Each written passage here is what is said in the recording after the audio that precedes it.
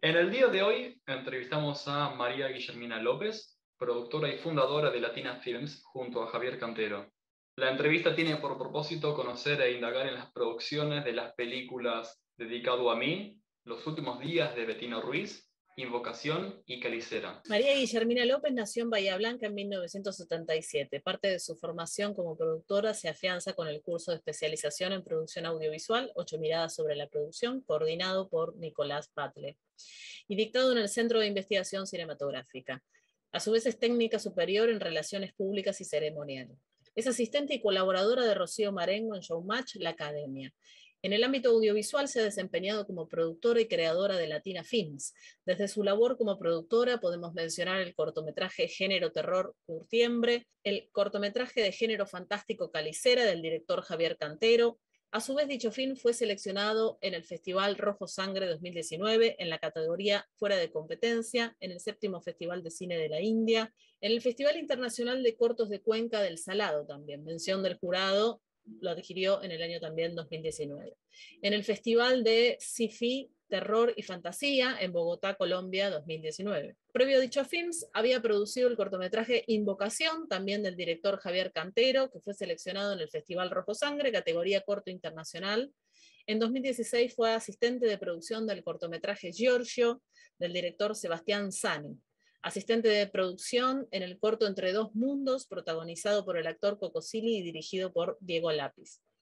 Y en el largometraje Futuro Perfecto de la directora alemana Nell Bochlatz. En 2015 formó parte del corto Los últimos días de Bettina Ruiz, del director Javier Cantero, como productora bajo la firma Latina Films. Dicho corto fue declarado de interés municipal por el HSD de Bahía Blanca. Con la productora también filmaron junto a Javier Cantero, dedicado a mí, que fue seleccionado en el sexto Festival Cinematográfico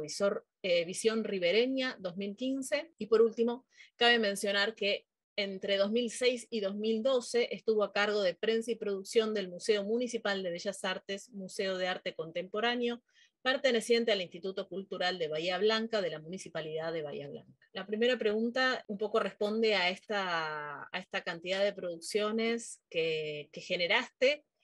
Queríamos saber cómo te sumaste, digamos, en un comienzo al campo audiovisual. Siempre me gustó todo lo que es la parte de producir, no solamente producir cine, sino también producir cualquier cosa, o sea, desde una muestra de, de arte, una exposición de arte, hasta algo en televisión o bueno, lo que sea, siempre me, gustó mucho lo que es organizar, producir, gestionar y, entonces eh, cuando me vine a vivir a, Buenos Aires,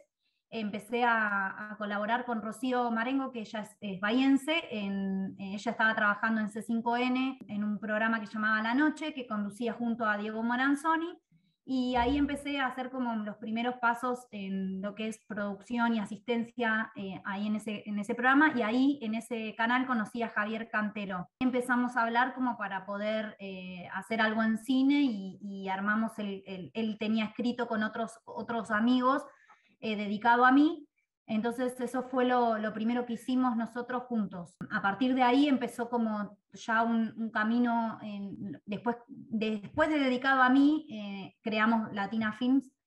y bueno, y ahí ya no, no paramos nunca desde, desde el 2015 hasta la actualidad, digamos. Quería consultarte acerca de tu experiencia en la prensa y la producción del Museo Municipal de Bellas Artes y también en el Museo de Arte Contemporáneo de Bahía Blanca. La verdad que siempre es, es un trabajo que recuerdo con mucho cariño porque eh, todo lo que es el mundo artístico y, trabajar con artistas siempre me, me llamó la atención. Eh, sus cabezas y hablar con ellos y poder conocerlos y, bueno, lo que es eh, una muestra, una exposición de arte tanto para Bellas Artes como el Museo de Arte Contemporáneo la directora en ese momento, Cecilia Miconi, vio por ahí un poco mis cualidades de lo que es la organización y entonces ella eh, por ahí cerraba las muestras con, con, los artistas y después me dejaba a mí para que gestione con el artista todo, todo el resto, desde cómo llegaban las obras a Bahía Blanca, eh, después en el museo que estuvieran, no sé, el artista si quería las paredes de tal manera o de tal otra, bueno, desde, bueno, todo lo, y, eh, lo último finalizaba con lo que era la inauguración de la exposición del artista, eh, invitar a gente que venga al museo, porque la realidad es que em, es difícil que la gente se acerque un poco a lo que son los museos, por ahí en el mundo no pasa, pero en las ciudades por ahí no es fácil que se acerquen a ver una exposición de arte o, de tal artista o tal otro, entonces a veces era un desafío eh, que la gente se acercara y, sea parte de, lo que estábamos proponiendo. Así que bueno, trabajé ahí varios años y aprendí muchísimas cosas, eh, todo lo que es también tratar con la prensa, de, bueno, de Bahía Blanca, eh, invitar a autoridades y, bueno, trabajar con artistas, conocer artistas que, obviamente eran ya reconocidos también acá en Capital o en otros lados del país, porque nosotros organizábamos la Bienal Nacional de Arte, que, iban venían, mandaban obras de todos lados del país, que había premios importantes, así que eso también eh, organizábamos. La verdad que recuerdo con mucho cariño y, me hizo también ser quien soy hoy, un poco ese, ese trabajo. Cuéntanos un poco cómo fue la recepción de Invocación y puntualmente, digamos, cómo se organizó el trabajo de maquillaje. Bueno, fue, ese fue como un, un primer desafío, queríamos eh, filmar algo, mm, eh, algo, nos gusta mucho a nosotros de por sí ya el género terror y suspenso, siempre nos, eh, no, nos gustó como meternos en ese mundo y mm, entonces ahí, eh, bueno, estábamos buscando un lugar eh, también que, esté bueno como para filmar, que era tipo un bosquecito y que diera como esa sensación de, bueno, de, un lugar donde pudiera aparecer una bruja y donde, bueno, y, entonces este, mm, había que, estábamos buscando una actriz eh, mayor pero bueno, había que hacer todo un proceso de lo que es el maquillaje bastante importante porque tenía que tener cara como de bruja. Y quiero rescatar que eh, Norma Glossman, es, eh, ella nunca había hecho cine, que es la actriz que, hace, que interpreta el papel de la, de la bruja. Estaba muy contenta, de, bueno, es una, una señora ya grande, jubilada, eh, pero siempre había hecho teatro, pero nunca había, nunca había participado en cine. Entonces empezamos a trabajar con ella el proceso de, transformación, de, porque llevaba, llevó mucho tiempo el, eh, a realizar todo el maquillaje. Eh, la maquilladora fue Nata Barale. Ella la verdad que hizo un gran trabajo porque hicimos muchas pruebas, eh, había que probar las texturas de los maquillajes, los látex, un montón de cosas que, que Norma se los pudiera también soportar, hacer bueno, bastantes pruebas. Lo que quería rescatar es que Norma tenía se sacó los, dentadura para darle como más credibilidad a su personaje de bruja. Eh, quiero decir porque a veces que una mujer eh, acceda como decir, bueno, me saco la dentadura y me quedo sin par de dientes, eh, como que fue para nosotros como una prueba de amor, digamos, porque sinceramente mm, es como, bueno, eh, más que nada siendo mujer y por más que uno diga, viste, como, bueno, chocante un poco, ¿no? Decir, bueno, me saco la dentadura para hacer este personaje. Así que sí, fue un proceso que tardó bastante, hicimos muchas pruebas y el día del, del, rodaje llevó varias horas este, poder que, ponerle todas esas capas de, de maquillaje. Eh, pero creo que, que, estuvo muy bien logrado y, y, Nata, bueno, Nata la conocí también en C5N y, y ella hace muchas producciones tanto de sociales como eh, artísticas, de teatro, de cine, y así que bueno, uno va conociendo ya mucha gente que, que después por ahí la llama para otras producciones también. ¿Cómo fue la preproducción de los últimos días de Bettina Ruiz? ¿Y cómo se originó la idea? Eh, surge esto cuando yo conozco a Javier Cantero en, en, ese, en el año 2015, 2014, 2015 eh, él tenía esa idea de hacer ese corto y él me mostró el guion y mm, la verdad que a mí me, me, gustó, me generó bastante como angustia leer el guion, eh, leer lo que, lo que le pasaba a Betina. Bueno, me pareció que estaba buena la idea, eh, era un poco ambicioso todo porque bueno, nosotros nunca habíamos hecho nada y yo nunca había hecho eh, algo así tan, tan grande. O sea, de hecho, solo había hecho un cortometraje se dedicado a mí, que había sido como más amateur, lo que es la parte del equipo, ¿viste? Éramos muy poquitos, eh, no, no, no, teníamos mucha gente para, para, para laburar, era como algo muy chiquito. Entonces, este era como el primer desafío que se me plantea como productora. Y bueno, la verdad que la preproducción fue muchísimo trabajo, porque también juntamos dinero, empezamos a hacer cosas para, para poder recaudar fondos. Logré, en, como yo soy de Bahía Blanca, eh, varios medios de Bahía me hicieron notas eh, donde yo planteaba el tema de necesitábamos los fondos para poder realizar el, film. Bueno, y un domingo a la mañana me escribe por, por Facebook una persona que yo no conocía, que me dijo que me quería ayudar a, que yo pudiera realizar este film, que él siempre quería ayudar a alguien, pero nunca sabía a quién y le parecía como que estaba buena la idea. Y bueno, y yo le dije, mira, necesitamos eh, tanto dinero, y, él me dijo, sí, yo te lo doy. Yo, imagínate que no lo podía creer porque como que yo decía, bueno, ¿qué me va a dar? ¿Viste? Porque me dice, yo te voy a ayudar. Yo decía, bueno, no, no me imaginaba que me iba a dar el dinero, todo lo que yo necesitaba para poder hacer el corto. Nosotros veníamos juntando dinero pero no, alcanzaba para hacer todo lo que necesitábamos. Eso fue como eh, una ayuda, yo digo, que vino de arriba eh, para que, darnos un empujón a, poder trabajar más tranquilos, porque la verdad que fue de un día para el otro que el Señor me depositó el dinero que hoy en día tengo un vínculo re lindo con esa persona porque yo no la conocía. Y bueno, y también se fue dando como cosas como mágicas, digo yo, en el sentido de que eh, nosotros cuando empezamos a trabajar, yo conocí a Natalia Cuchufo, por una amiga y me daba, yo le pregunté a ella si conocía alguna actriz, estábamos buscando actrices para interpretar a Betina, habíamos hecho un casting. Cuando yo le pregunté a Natalia si ella conocía o tenía alguna amiga que le, me interesaría, Natalia me dijo, ¿pero para qué? Le digo, no, nada, para un corto. Me dice, ay, a ver, mostrame el guion, y le mostré el guion y me dijo, no, pero yo lo quiero hacer, me dijo.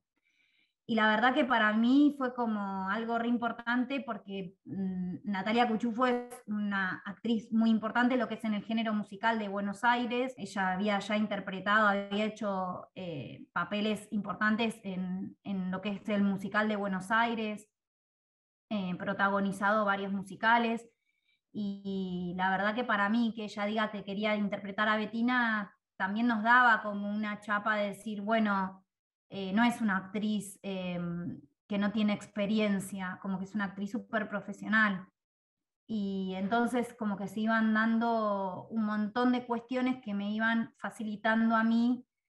eh, lo que era la preproducción, ¿no? Ir armando como ya de por sí, cuando yo decía que Natalia Cuchufo era la protagonista, también el resto se iba como, me iba allanando el camino, ¿no? Porque otros personajes, eh, yo necesitaba el, papel de la hija que hace Mica Riera, que también es una chica que había trabajado en varios eh, programas de tele, en varias novelas, eh, y Natalia había sido como la mamá en ficción de una novela que habían hecho, entonces cuando yo le dije a Nati, me dijo tal persona, y hablé con Mica, y Mica me dijo que sí, como que eh, al estar Natalia ya encabezando, como que también me fue facilitando a buscar los personajes y, en ese sentido como que me ayudó muchísimo en el laburo. Y también quiero decir como que eh, yo tengo un montón de amigos y creo que si uno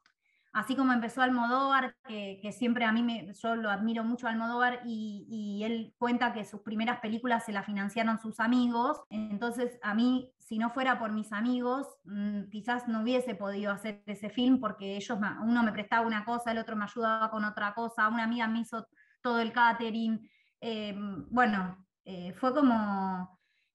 así uno empieza, ¿no? Si, si, no tiene los amigos y la gente que lo, que lo quiera uno, capaz que cuando uno empieza nadie, nadie confía en uno. Entonces, eh, creo que así eh, es más fácil, ¿no? Con la gente que, a uno lo quiere y bueno, con, este amigo que, nos ayudó económicamente para poder arrancar. E, efectivamente, debe ser muy, muy a pulmón, digamos, poder generar eh, obras fílmicas eh, de una manera tan independiente. Un poco en, la misma línea quería preguntarte por el modo de producción de Calicera. Eh, bueno, esto, ¿no? O sea, cómo buscaron el financiamiento, cómo lograron abordar también el género fantástico que requiere de una producción extra. También queríamos preguntarte por el proceso de scouting de las locaciones. La elección de, la, de, la, de hacer calícera em, también tiene que ver un poco con los géneros que nos gustan a nosotros, todo lo que es eh, tanto terror como suspenso como fantástico, eh, nos, nos, gusta mucho y al director le gusta mucho lo, fantástico. Cuando él me dijo de hacerlo, la verdad que en un primer momento pensé, digo, este está re loco, es una locura hacer esto, y después como que me metió en su locura y yo accedí y dije, bueno, ¿por qué no? Vamos a, tratar de hacerlo. Yo al ser de Bahía Blanca, eh, cuando era más chica, siempre iba a una playa que quedaba a 100 kilómetros de ahí, que se llama Montermoso, que es una playa muy linda de, Argentina,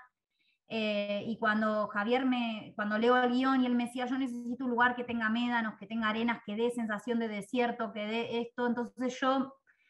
dije, este lugar tiene que ser Montermoso porque, o sea, es un lugar como que tiene una playa súper amplia, cuando baja al mar es un lugar hermoso, tiene una playa enorme y me recuerdo, mucho los médanos de, monte, entonces em, dije, bueno, eh, vamos a, tenés que venir a conocer Montermoso.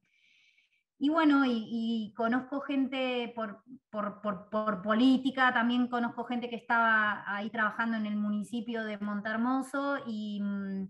y bueno, y cuando le dije, vamos a, vamos a ver que conozcas el lugar y si te gusta, hablo con la gente del municipio y a ver qué me dice, si me da bola o no me da bola, si le interesa o no le interesa y vemos qué onda porque ya si era ese lugar era como que se nos allanaba mucho el camino porque las locaciones estaban, era todo al aire libre y era el lugar perfecto para mí. Eh, así que bueno, fuimos eh, a conocerlo, fuimos este, un verano y fuimos tres días y, bueno, estuvimos recorriendo y la verdad que eh, les encantó el, le encantó el lugar, le pareció espectacular. Y mm, también, bueno, hice un contacto con, el, con, el, con la persona que maneja el complejo americano, que es, es el camping ahí, que es un camping que está muy bien puesto. Y eh, la persona que maneja el camping me, me dio, me dijo, yo te lo presto, vos puedes utilizarlo, lo que vos quieras, obviamente no tiene que ser en temporada de verano, porque es donde ellos tienen el, el proceso más de, de laburo y que es de lo que viven después durante el año. Así que él me dijo, acá puedes venir, puedes hacer lo que vos quieras.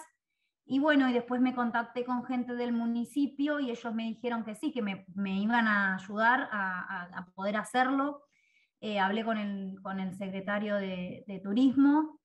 y él me, dijo, mira, eh, yo te puedo dar todo lo que vos necesitas, obviamente no, no me dieron dinero en efectivo, pero sí me dijeron, te ayudamos en todo lo que necesites, o sea, te damos hotel, te damos comida, te damos lo que sea que necesites para, poder filmar el corto ahí. Así que bueno, eso fue el primer, el primer contacto. Ni siquiera estaba terminado el guion, teníamos la idea, pero no estaba terminado el guion cuando fuimos y hablamos con, la gente del complejo americano y con la gente del municipio, o sea que teníamos un trabajo también de, de terminar el guion pero en sí ya como que teníamos la, certeza de que teníamos el lugar y teníamos algo muy importante que era eh, toda la ayuda que nos iban a dar para poder llevarlo a cabo.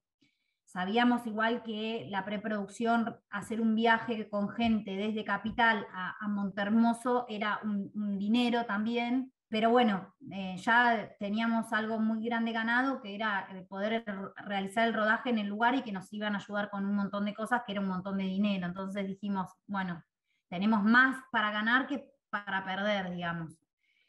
Y mm, así que bueno, después realizamos otro viaje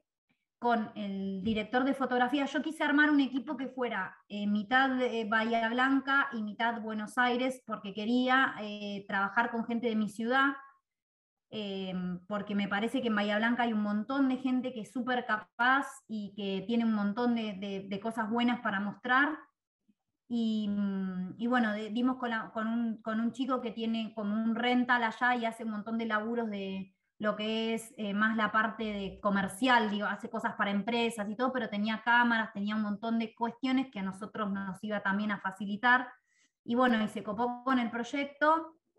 y se sumó también. Así que teníamos una super cámara que filmamos con una red, que para el que hace cine sabe que es una cámara enorme y buenísima, la calidad es espectacular. eh, y tenía lentes y tenía todo, entonces como que bueno, se nos iban facilitando los caminos como para poder eh, realizar esta idea que era una locura y, creo que, que bueno, con la ayuda del municipio, del complejo americano, con este chico que se sumó a la parte, lo que es la parte, toda la parte técnica que tenía desde el dron, grúa, eh, una cámara espectacular y un montón de cosas, entonces fui sumando gente de Bahía Blanca, el director de fotografías Diego Sagui, de Calícera, que es bahiense también. Em, y después vinieron otros chicos también, que una chica que la que hizo continuidad, que también es, es bahiense, eh, una chica que fue a hacer foto fija, que también es bahiense, eh, la chica que hizo todo lo que es arte y vestuario también es bahiense. Eh, Diego y, Dani Laporta, que hace vestuario, Diego Sagui, que hizo director de fotografía, y Dani Laporta, eh, son bayenses, pero viven en Capital Federal. Pero bueno, ellos conocían la playa y estaban súper entusiasmados, porque también volver a, un lugar donde te remite a una, adolescencia, a una infancia, es como que también te da un toque de, como de cariño, ¿no? Por el proyecto. Armé un equipo de casi mitad y mitad entre Bahía Blanca y, y, Capital. Y, bueno, y ahí arrancamos la odisea de lo que fue filmar Calícera en todo al aire libre, en Médanos. Imagínate que lo que fue trasladar eh, el equipo arriba de un médano con las luces, con las cosas. Era, eh, teníamos, eh, la municipalidad nos había dado un, ¿viste esos autitos se llaman UTV, que es tipo como si fuera un, como un, esos que son de cuatro ruedas, pero es como un, motos, una motito, pero para la arena, pero como autito. Que nosotros en el canal de YouTube tenemos un making of y hay, hay imágenes de ese carrito yendo y viniendo, porque había que subir al médano,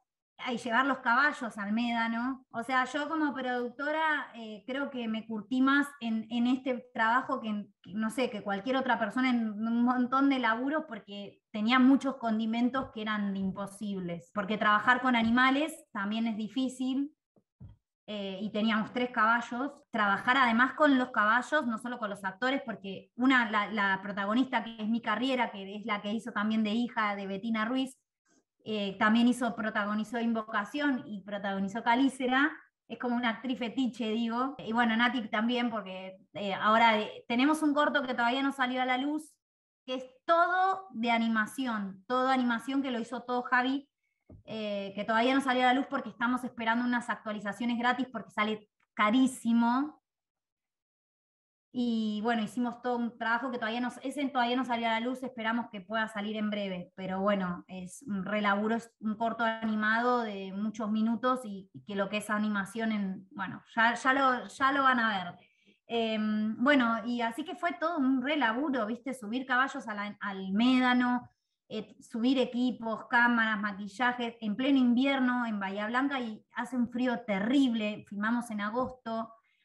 eh, todas las escenas era todo al aire libre, o sea que también rogábamos que el clima nos acompañe porque si no era muy difícil, si llegaba a haber un día de lluvia no, no, teníamos mucha opción y eran cuatro días que fuimos y eran esos días a matar o morir, porque bueno, había que trasladar a la gente de capital allá, era 700 kilómetros, fue una odisea, yo eh, ese corto eh, lo disfruté, pero sufrí mucho porque era mucho sobre mis espaldas. Eh, mucha responsabilidad sobre mis espaldas, llevar gente de una ciudad a otra, trabajar con animales, eh, estar al aire libre, toda la producción al aire libre. Eh, la escena que es la escena de, la lucha de, espadas es arriba de, como en un bosquecito, pero arriba de, como en una montañita y hay que subir hasta ahí, también subir cosas hasta ahí arriba, hacer un pre-lighting que tratamos de hacer la luz más importante que teníamos para generar toda esa pelea, que es el HMI, no nos arrancó y no, no podíamos conseguir otro eh, porque estábamos en Montermoso y no tenían luces de cine. Entonces eh, fue como, ese día filmamos 22 horas sin parar. Como que si no el equipo no está convencido, no logras que la gente se, esté muerta de frío a la intemperie durante toda una noche y que habíamos arrancado a las 7 de la mañana y terminamos a las 6 de la mañana. Fue como una odisea eh, hacer, hacer Calícera. Fue una odisea, pero bueno, eh, la preproducción fue difícil también. Para finalizar la, la postproducción, a mí me ayudó el municipio de Bahía Blanca a poder terminarlo. Eh, a hacer todo lo que es la parte de, postproducción, me, dio, me, dio fondos para poder terminarlo. O sea que el municipio de Montermoso y el municipio de Bahía Blanca nos dieron una mano enorme. El Fondo Municipal de, las Artes, que es de Bahía Blanca, que pudimos aplicar ahí, nos ayudó muchísimo a poder, a poder terminarlo. Y la postproducción de sonido, que es un, estudio re importante, uno de los más importantes del país, que se llama Tres Sonidos, que son unos chicos de Bahía Blanca que, la, rompen toda, que son muy profesionales, que capaz que los conocen, a, Leandro de Loredo, porque es ganó muchísimos premios eh, con producciones muy grandes, ha trabajado con, desde Francis Ford Coppola, eh, no sé, con muchos grosos, y él es de Bahía Blanca y él, si no fuera por él, tampoco hubiese podido hacer la post de sonido en ese lugar, que es muy profesional. Y, ellos, yo los conozco desde la infancia de Bahía Blanca, por eso te digo como que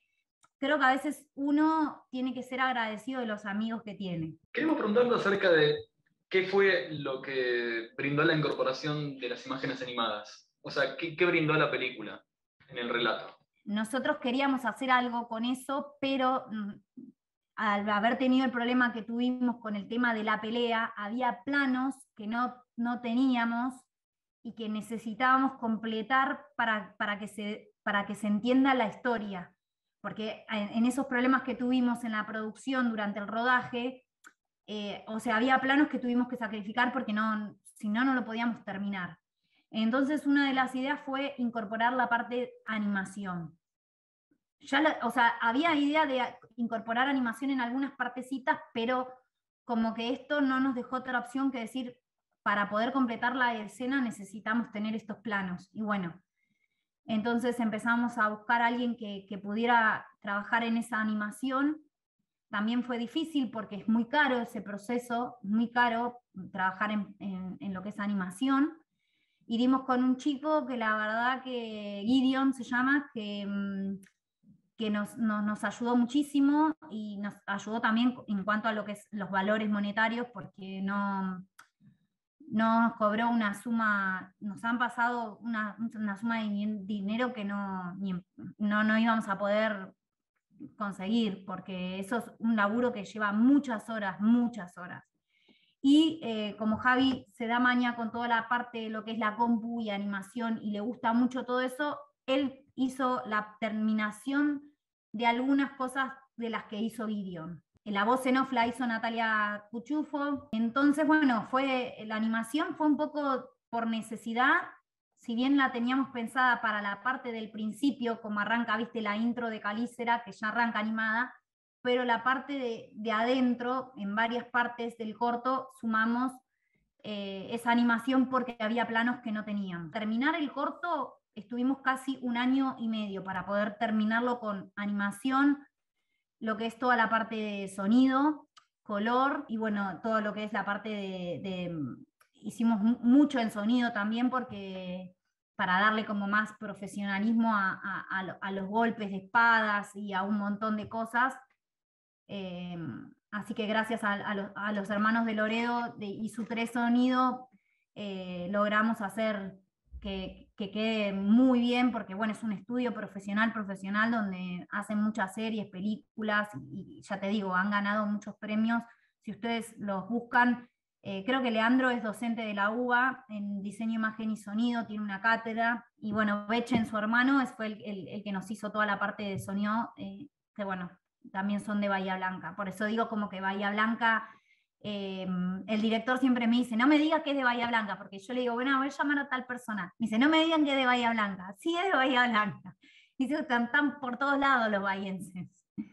Eh, así que bueno, nada, Calícera fue una odisea, desde la preproducción hasta la postproducción y el rodaje también. Fue bastante, em, bastante que poner mucho el cuerpo. Eh, por suerte, el equipo que armamos para, para rodar Calícera un equipo muy profesional y, mm, a mí me ayudó la producción Julia Santía, y, Vale Botaro que hizo asistencia de dirección, que ellas, eh, la verdad que si no fuera por ellas tampoco hubiese podido hacer todo porque era muchísimo todo y el vestuario también requirió mucho trabajo. Em, imagínate que eran muchas pieles, eh, muchos cueros, eh, fue muchísimo, muchísimo trabajo de arte y vestuario que tuvo Dani. Y bueno, y también quería contar algo de color, porque el guerrero, Aucan, el que hace, interpreta a Aucan, no es actor. Él es eh, físico-culturista. Entonces, cuando empezamos a buscar un guerrero, Javi me dice, yo necesito a alguien que tenga, que dé en cámara, pero que tenga un cuerpo muy tallado, muy grandote, y, no es fácil encontrar una persona así. Entonces, bueno, googleando, googleando, googleando, eh, em, Franco eh, Domínguez es físico-culturista, es ganó muchos premios como físico-culturista, ganó, salió segundo en el Arnold Classic, que es como que un stop en lo que es eh, el levantamiento de pesas y todo eso, que es de Arnold Schwarzenegger, y, es cordobés. Entonces lo contacté por Instagram y eh, bueno, fue convencerlo no fue tan fácil porque eh, Franco está en Córdoba y nunca había actuado, nunca había estado frente a cámara. Entonces le dije que podía iniciar un camino como Arnold Schwarzenegger, como hizo Conan el Bárbaro, que fue algo también que nos inspiramos. Entonces, como por ese lado lo convencí. Después se recontra copó y me reayudó porque vino desde Córdoba a, a los, algunos ensayos, eh, a conocerlo. Eh, él había estado en Estados Unidos compitiendo, volvió de, competir y, bueno, lo trajimos para, acá, se bajó en Buenos Aires y, y bueno, y por eso te digo como que hay todo mucho laburo de preproducción, muchísimo, muchísimo, muchísimo, y, creo que es un corto que tiene muchos condimentos porque al no tener tanto dinero también como que nos las tuvimos que rebuscar como para poder lograrlo. La verdad que lo, que contás muestra una odisea y un montón de imponderables que fueron sorteando para, para poder este, finalmente terminarlo. Comentame un poco cómo fue el rodaje y la producción de Curtiembre. No, no sé, digo, año 2019, no, no sé si, digamos, si, si tuvo la misma...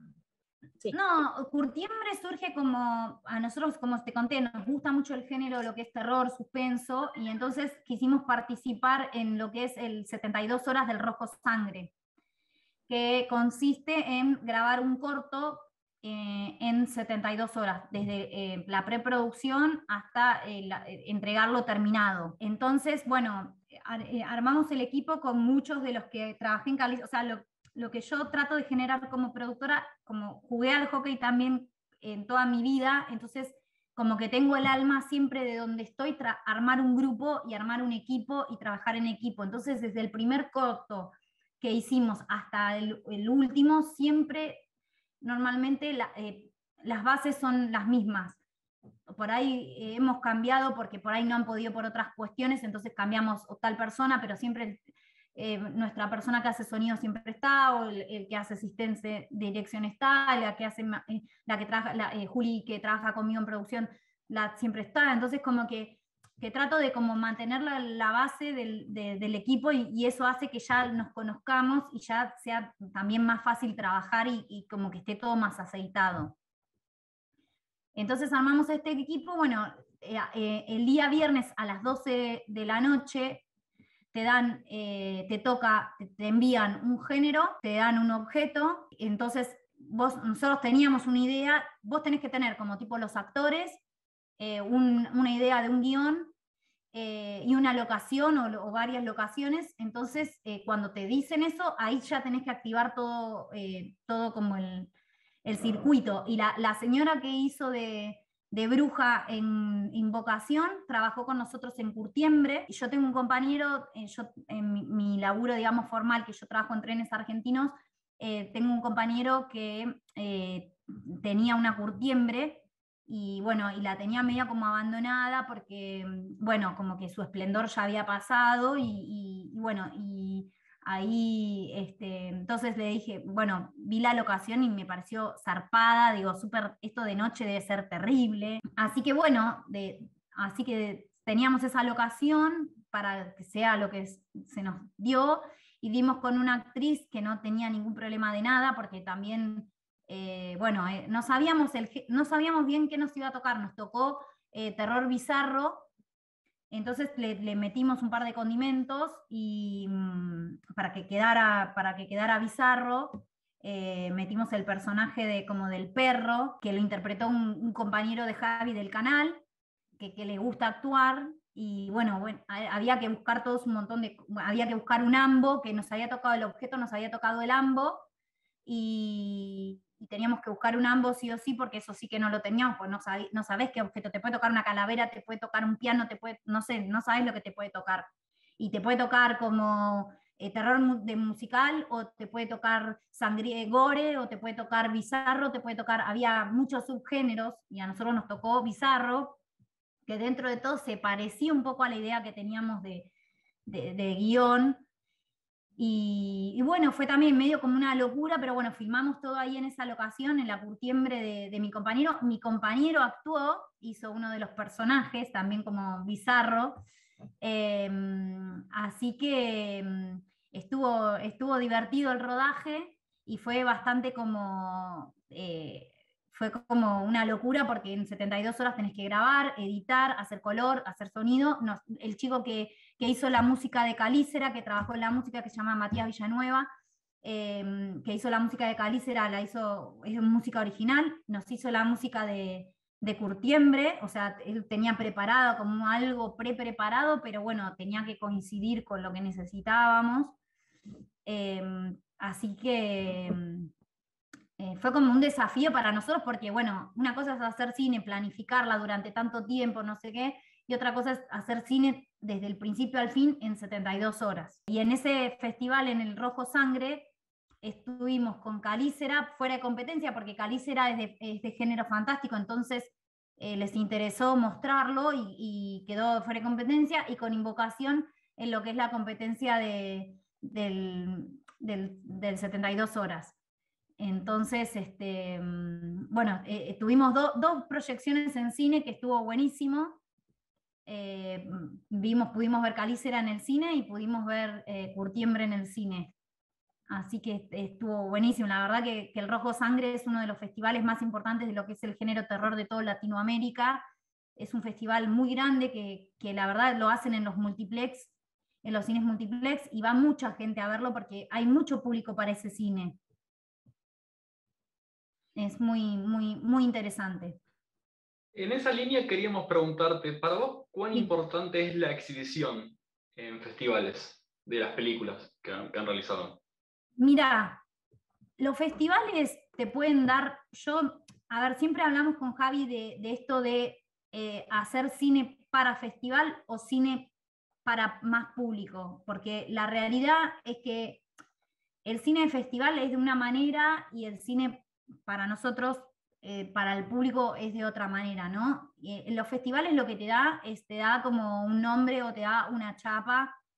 eh, de, decir, bueno, estoy en tal festival, participé en tal otro, gané un premio. Nosotros con Calícera ganamos el premio Mejor Efectos, eh, Mejor Efectos Especiales en, en, India, que también es un premio importante para nosotros. Eh, los, efectos especiales los hizo Andrés Borghi, que es bastante conocido en lo que es el género y, la verdad que hizo un trabajo espectacular. A nosotros nos interesa que los, participar en los festivales, de hecho el, cortito que vamos a hacer, que tenemos ahora pensado para rodar a, fin de, septiembre, es para presentar en Rojo Sangre, porque eh, queremos probar una cámara y bueno, y queremos ver cómo, y por eso queremos hacer esto. A mí también me interesa que nuestras películas o lo que nosotros hagamos lo vea la gente, lo vea todo el mundo, o sea, cuanto más gente lo vea, para nosotros mejor. Calícera ahora está en, Cinear, que también fue un, fue, no, no fue tan simple llegar a, Cinear, porque es todo un proceso de selección que casi duró un año. Eh, desde que envías el corto hasta que vas pasando como pasos y vas como que eh, se ve que como que no es, no debe ser tan simple subir un corto a cinear, más que, que no es por Inca y todo eso. Em, entonces casi duró un año entre, viste, que empezás la conversación hasta que termina, porque además tenés que presentar un montón de cosas. Bueno, y para nosotros, la verdad que ese fue como un, eh, como un regalo del cielo poder estar en cinear, porque es como cualquier artista que hace algo y no sé, te suben a, no sé, subir tu película a Netflix o a, o alguna plataforma de esas, eh, creo para nosotros estar en Cinear es, es, estar en un lugar donde está todo el cine argentino, porque hay series, hay cortos, hay películas, y además que uno puede ver el estreno, o sea, puedes pagar por el estreno de una película que ves en el cine eh, a un precio súper accesible, y también puedes ver un montón de cosas de contenidos gratis. entonces me parece que, es una plataforma que está buenísima y que, y que la verdad que te da una vidriera eh, de tu trabajo, ¿no? Estar ahí. Un poco pensando, ¿no? En, en Cinear como una plataforma de exhibición, pero a su vez, digamos, tratando de, de reubicarte, digamos, en, en, en, tus orígenes, que es Bahía Blanca. ¿Cómo ves la, la escena bahiense, ¿no? Si tiene si tiene una producción fructífera o si de repente frente a, la, a, las dificultades económicas de poder producir y además eh, si existen ¿no? dificultades al momento de exhibir, cómo, cómo, cómo se está desarrollando, cómo se está desarrollando en definitiva el cine en Bahía. En Bahía Blanca hay, hay, hay mucho trabajo, hay, hay, se hizo una película hace poco que protagonizó Guillermo Finning, que es Bahía Blanca la película. En Bahía Blanca hay, hay muchos artistas. Eh, lo, lo, que pasa que yo lo que siento para ahí que obviamente que en Buenos Aires uno tiene como más la facilidad de, las cosas, ¿no? Eh, pero sí, en Bahía Blanca hay un montón de gente súper capaz, de hecho no sé si ustedes saben, pero eh, Gastón Duprat, es bahiense, em, él ganó muchísimos premios, de hecho ahora terminó de filmar una película con Penélope Cruz y Antonio Banderas, hizo El Ciudadano Ilustre, 4x4, hizo un montón de películas muy, muy conocidas, em, que la verdad que es, eh, ahora lo contrataron también creo que desde Disney para hacer otras cosas y ahora también terminó de hacer algo con, está haciendo algo con Franchella. Em, Gastón es una, ah, hizo El hombre de al lado, él arrancó, ganó muchísimos premios en la película con Daniel Arauz, El hombre de al lado. Gastón creo que hizo, allanó un poco el camino también de decir, bueno, en Bahía Blanca hay gente que, mm, que tiene ganas y, es súper capaz. Y, Gastón también eh, lo que tiene es una persona súper humilde con, con respecto a eh, por ejemplo, a mí me llamó unas, veces para, para hablar de cine y yo digo, un tipo se toma un café conmigo que yo recién arranco, que no hice y me da sus consejos. Eh, para mí los consejos de él son súper valiosos, yo por ahí le mando, le mando a veces el crudo, digo, ¿qué te parece? Ojalá algún día pueda mm, trabajar con él en alguna peli, pero la verdad que él se, tomó su tiempo y, me invitó a su productora y a charlar de cine y a charlar de historias, de, cómo hago yo las cosas. Em, y me parece que, está buenísimo. Y por eso yo trato siempre, cuando hago algo, me gusta trabajar con, con gente de Bahía Blanca, porque me parece que, está buenísimo. Y, nuestro proyecto, uno de los proyectos que tenemos es armar un documental y tengo ganas como de, hacerlo generarlo directamente en Bahía Blanca. Em, entonces, eh, me parece que, es una ciudad que si, no es un pueblo, eh, es una ciudad que tiene más de 300.000 habitantes, eh, tiene universidades, digo así porque por ahí hay gente que no, no, sabe, capaz que dice Bahía Blanca y parece que es un pueblo, no sé. Pero la verdad que es un lugar que tranquilamente puede hacer muchísimas cosas. Lo que pasa que, bueno, como que todo, viste, te dicen que Dios está en todas partes, pero atiende en Buenos Aires. Bueno, es, esto es así un poco, ¿no? Cuando uno busca actores, también vos decís, bueno, tenés la posibilidad de conocer a ciertos actores porque vivís acá y por ahí no es fácil llevar al actor a otro lugar a, filmar. Eh, o sea, cuando digo, cuando vos querés buscar un actor conocido o alguien así, pero bueno, creo que, Bahía Blanca es una ciudad que tranquilamente puede hacer cosas espectaculares y se pueden hacer muchas cosas. ¿Con qué colegas del audiovisual seguís trabajando desde tus inicios hasta hoy? Sigo trabajando con, bueno, con Javi Cantero, eh, seguimos trabajando siempre juntos y, con la mayoría de los que, los que he trabajado en, en un proyecto siempre vuelvo a trabajar en otros o conozco en otros proyectos y después lo llamo para trabajar en, en, otros. Creo que esto es como una rueda que uno va conociendo gente y, y, entonces después necesitas a alguien que haga, no sé, efectos especiales. Yo muchas veces recomiendo con las personas con las que trabajo, yo por ejemplo, todo lo que es la parte de postproducción de color, eh, conocí a Gaby Laalle, que, que, es un divino y me ayudó muchísimo a mí. Yo le digo, vos sos mi padrino, y, y él, siempre que alguien me pregunta dónde puedo hacer color, lo mando ahí, o, o lo que es la parte de distribución de cortometrajes, eh, siempre la recomiendo a Luciana Abad, que ella trabaja hace un montón de años y tiene una, una distribuidora que llama hasta 30 minutos, que trabaja re bien. Eh, soy una persona muy agradecida con las que me han ayudado a mí porque obviamente los proyectos, a veces las personas que trabajan no cobran nada, o no a veces, la mayoría de las veces, solo lo que se junta de dinero es para pagar equipos, para pagar comida, para pagar eh, todo lo que es la parte, no sé, eh, comprar algo de vestuario, maquillaje, todo eso, pero a veces las personas que trabajan donan sus honorarios en pos del proyecto, porque a veces si no, no, no se podría hacer. Nosotros en Calícera nadie cobró nada. Ninguno de los, de los 15, 12 que éramos trabajando en el equipo, ninguno cobró nada, solamente pagamos lo que teníamos que pagar de, de las cosas, ¿no? La, combi para ir, eh, o sea, todo lo que es la parte que no, no te queda otra. Pero creo que eh, el cine independiente maneja eh, lo que es el amor por, por, el cine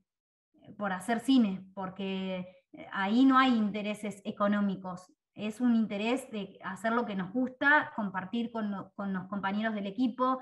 em, y, hacer algo que, bueno, que por ahí nos puede dar experiencia y nos puede dar una alegría, obviamente, que uno siempre hace algo por algo, pero, pero no es por el reconocimiento económico que uno hace cine, sobre todo lo que es nosotros, que por ahora eh, es independiente, es todo autogestionarse y poner de nosotros a veces nuestros ahorros, eh, nuestro tiempo y eh, tenemos nuestros otros trabajos con los que vivimos, pagamos las cuentas y todo, y, después el tiempo que le dedicamos a hacer cine, ¿no? Por eso me parece que yo digo, siempre digo, si uno hace cine independiente, después cuando tenés presupuesto es mucho más fácil, porque eh, conseguir cosas sin tener dinero es difícil. Quisieras transmitir algún tipo de consejo para quien se, introduce en la producción o generar algún comentario final?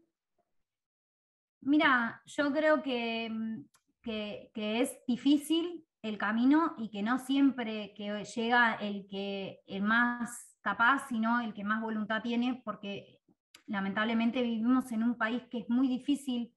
generar eh, fondos para, hacer cine. Eh, no es tan fácil el Inca, no es tan simple eh, los lugares de financiamiento. Entonces, creo yo que uno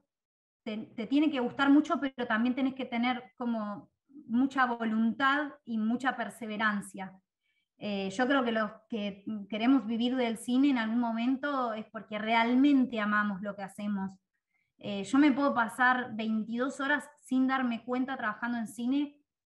porque realmente me gusta lo que hago y, le pongo mucho de mí, le pongo mucho empeño, pero hay que tener una perseverancia y una constancia para poder eh, seguir avanzando, porque a veces el camino no es muy fácil, no es, eh, no, no, uno no puede decir, quiero hacer esto y lo hago, es como que es, es, una, es un trabajo de día a día, de luchar, de, hablar con uno, de hablar con otro, em, pero es hermoso, es hermoso y es gratificante y, la verdad que a mí me da mucho orgullo lo que hago. Guillermina, muchas, muchas gracias por la entrevista. Jimé, ¿querés agregar algún comentario más? No, solo agradecerle el tiempo y, la predisposición de, que hubiésemos podido entrevistarla. Siempre es importante poder eh, registrar lo que está sucediendo en, el campo audiovisual. Así que te agradecemos mucho, Guillermina.